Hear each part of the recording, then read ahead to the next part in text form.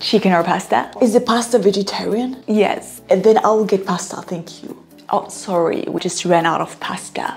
Oh, you ran out of pasta? You understand? No more pasta. Wir haben keine Nudeln mehr.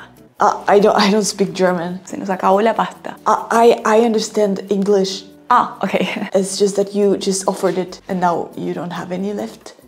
Yeah, That's sad. I booked this flight and I also chose vegetarian. maybe you can choose something from the menu. Okay, I will get the tomato sandwich, please. Thanks. Mm-hmm. That will be 25.50. Would you like any drinks?